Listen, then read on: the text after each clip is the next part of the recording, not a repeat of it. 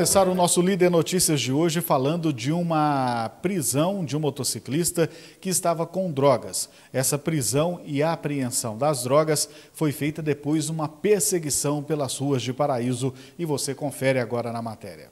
A ocorrência foi registrada na tarde desta quinta-feira. Segundo informações policiais, um motociclista de 29 anos, que já possui passagens por tráfico, teria fugido após notar a presença dos militares.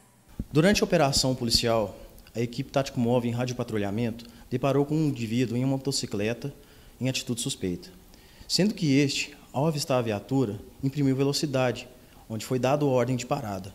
O indivíduo, ao avistar a viatura, começou a dispensar invólucros em conteúdo plástico, sendo que, ao conseguirmos abordá-los, constatamos que os invólucros é, dispensados eram porções de substância semelhante à cocaína.